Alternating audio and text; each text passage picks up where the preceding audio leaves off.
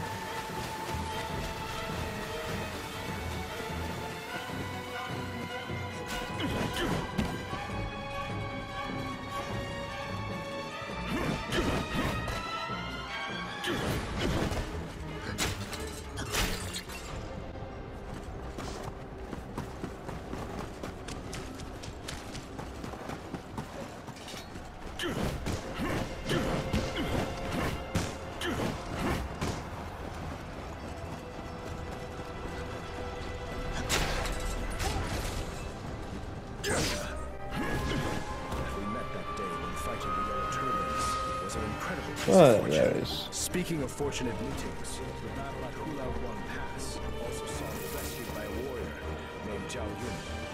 It truly is mysterious how fates become intertwined. I should like to see him again, and hopefully we can fight together with him once more.